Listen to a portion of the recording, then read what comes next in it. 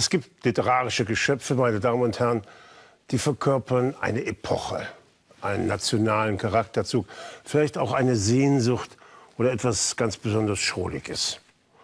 Denken Sie an den faulen Oblomov. Für viele Russen ein Taschenspiegelbild ihrer Seele. Oder denken Sie an Faust, die kühne Selbstprojektion der Deutschen. Oder denken Sie an den Held, an den literarischen Held unserer heutigen Sendung, besser gesagt an die beiden literarischen Helden der heutigen Sendung, an Don Quixote von der Mancha und an seinen treuen Diener Sancho Panza. Zwei Gestalten, die eine lang und hager, die andere klein und rundlich. Zwei ärmliche Reittiere, ein Pferd und ein Esel und selbstverständlich die Windmühlen. Sind die zwei Gestalten Karikaturen? Das sind sie gewiss. Auch der Ritterroman und der Schelmenroman. In diesen beiden Kategorien können wir den Don Quixote einreihen. Diese Romanformen also leben von der Überzeichnung. Aber das soll uns erst später beschäftigen. An dieser Stelle möchte ich Ihre Aufmerksamkeit nur auf den Umstand lenken, dass wir viel von einer anderen Kultur lernen können, wenn wir begreifen, auf welche besonderen Muster, Figuren, Motive sie stolz ist. Nicht stolz in einem prahlerischen Sinn, sondern im Bewusstsein, hier etwas zugleich Außergewöhnliches und ganz Spezifisches geschaffen zu haben. Und eine Kultur, die zwei Gestalten gleichsam zum nationalen Emblem befördert hat, die sich über diese Kultur lustig machen, sie selbstironisch vorführt. Eine solche Kultur verdient, verdient schon deswegen unseren Respekt. Somit Hut ab vor Spanien und ganz besonders natürlich Hut ab vor Miguel de Cervantes. Was wissen wir über den Schriftsteller? Fast zu viel. Denn das Leben des Miguel Cervantes verlief kaum weniger turbulent als das der Helden seiner Romane oder Novellen. 1547 kam er auf die Welt, viertes Kind eines verarmten Landadligen, der sich als Chirurg verdingte. Er studierte in Salamanca Theologie, Humanismus und ein paar ähnliche Fächer, wurde bald von der dortigen Polizei verfolgt und flüchtete nach Rom wo Cervantes als Kammerdiener in die Dienste des Kardinals Giulio Aquavita trat, ein Kardinal, an den sich sonst niemand mehr erinnern würde. Kaum ein Jahr später schließlich schließt sich Cervantes der gerade in Neapel stationierten spanischen Marine an. Er nimmt 1571 an der Schlacht von Lepanto teil, die das Abendland einmal mehr vor den Türken bewahren sollte. In der Schlacht treffen ihn drei Kugeln. Fortan kann er die linke Hand nicht mehr gebrauchen. Immerhin beschert es ihm den Ehrentitel El Manco de Lepanto, der Einhändige von Lepanto. Krieg bleibt sein Geschäft. Vier Jahre später, im Juni 1575, gerät er mit seiner Schiffsbesatzung in die Hände der Korsaren, die ihn als Sklaven nach Algier verschleppen. Dort bleibt er trotz mehrfacher Fluchtversuche, die alle erfolglos ausgehen, bis ihm 1580 ein frommer christlicher Orden freikauft.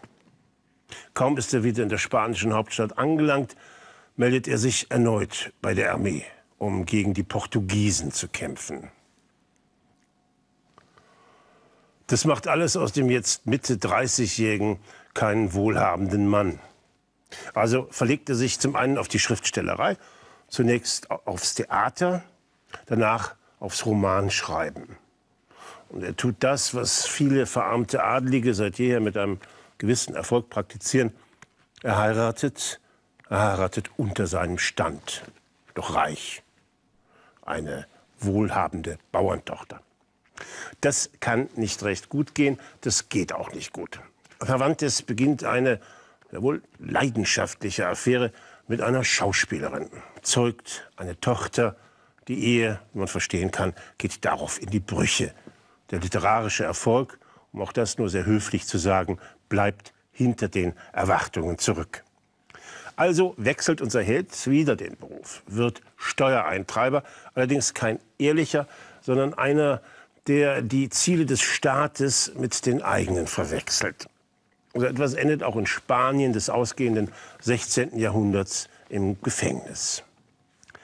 Das war kein angenehmer Aufenthaltsort, schon deswegen, weil der damalige Strafvollzug nicht dem Gedanken der Besserung des Täters, sondern einzig dem der Sühne folgte.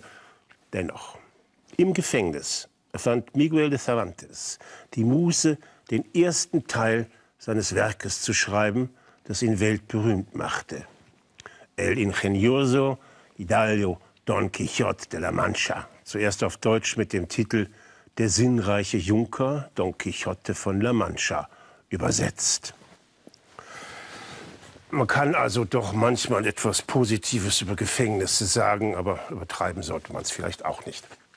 Lesen, meine Damen und Herren, kann Ihre geistige Gesundheit gefährden. Das führt Cervantes an Don Quixote vor, einem dem Ritterroman verfallenen Leser, der nicht mehr zwischen Dichtung und Wahrheit unterscheiden kann. So hält er sich nach der Lektüre selbst für einen stolzen Ritter, dem das Schicksal ein kühnes Abenteuer nach dem nächsten auferlegt. Er steigt in eine rostige Rüstung, bastelt sich einen Helm und klettert auf sein klappriges Pferd, die berühmte Rosinante. Treu an der Seite von Don Quixote reitet der nur scheinbar naive Knappe Sancho Panda und versucht seinem Herrn vor Schlimmerem zu Unheil zu bewahren. Was wahrlich nicht leicht ist bei einem Herrn, der eine einfache Schenke mit einer Burg verwechselt, der sich vom Wirt zum Ritter schlagen lässt, dann auf der Landstraße erbärmlich verprügelt wird und völlig abgerissen wieder nach Hause zurückkehrt. Hier erholt sich Don Quixote eher schlecht als recht, während seine letzten verbliebenen Freunde, der Pfarrer des Dorfes und der Barbier, die Bibliothek des Ritters mit den gefährlichen Ritterromanen ganz eifrig zu verbrennen versuchen. Vergeblich, leider.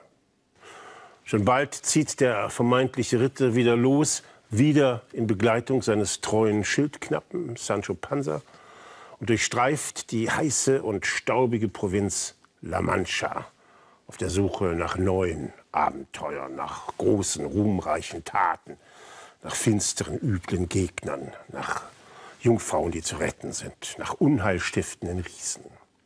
Und er findet diese Riesen in der Gestalt von Windmühlen. Unser Held gibt seiner Meere die Sporen und stürzt beherzt auf die Windmühle zu, wird sofort von einem der Flügel hochgerissen und weit hinaus auf ein Feld geschleudert.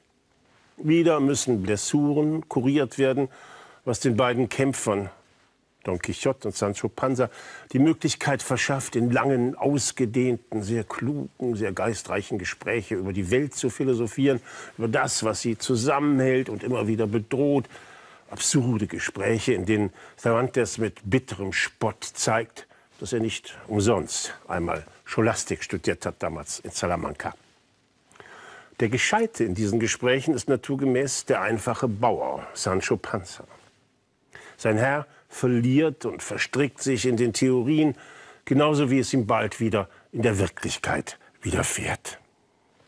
Er kämpft gegen staubumwirkte Hammelherden, die für ihn ein Soldatenheer bedeuten. Er liefert sich mit Rotwein gefüllten Schläuchen einen blutigen Kampf, erobert schließlich den sagenumwobenen Helm des Mambrin. Eine Rasierschüssel, bei der Sie gerne, meine Damen und Herren, an den Heiligen Gral denken dürfen. Meist enden diese Episoden damit, dass Don Quixote fürchterliche Prügel bezieht. Und so ist es kein Wunder, dass er sich auf Anregung seines Knappen den Übernamen Ritter von der traurigen Gestalt gibt. Und als dieser, als Ritter von der traurigen Gestalt, kehrt er schließlich, wenig ruhmreich, auf einem Ochsenkarren in seine Heimat zurück. Dieses Meisterwerk der Weltliteratur machte Cervantes berühmt und kurzfristig sogar vergleichsweise wohlhabend. Zehn Jahre später legt der Autor einen zweiten Teil des Romans vor, indem er der Handlung einen zusätzlichen Dreh verschafft. Nun ist der immer noch verarmte adelige Don Quixote eine literarische Berühmtheit geworden. Das erzählt jedenfalls sein Knappe, der wackere Sancho Panza. Es gäbe da ein von einem Araber verfasstes Buch, behauptet Sancho Panza, das von den heldenmütigen Taten der beiden berichtete, sodass sie jetzt bereits auch literarische Helden seien. Ein genialer, ein verschmitzter erzählerischer Kunstgriff, ein Spiegeltrick.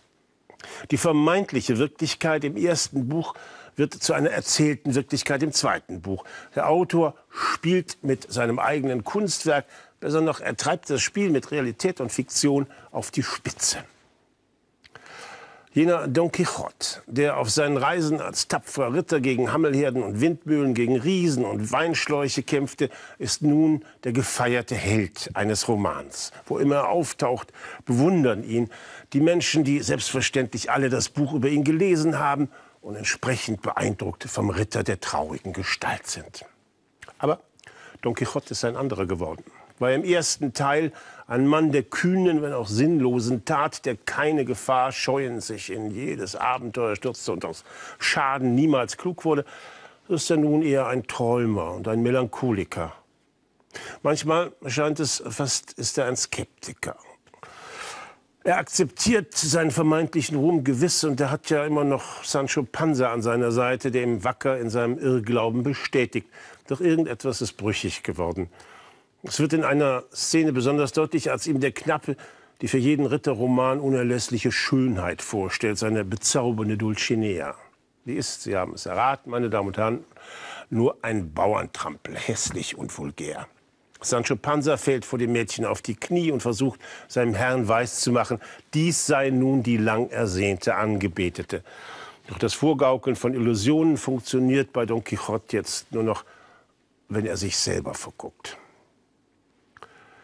Dennoch versucht er den Schein zu wahren. Er weist seinerseits dem Mädchen seine Ehrerbietung und als diese sich schreiend aus dem Staub macht, flüchtet er sich in die Illusion, Dulcinea sei zwar die wahre Dulcinea, doch durch einen bösen Zauber in diese Schreckensgestalt verwandelt worden. Man muss eben auch verstehen, mit den eigenen Illusionen ritterlich umzugehen.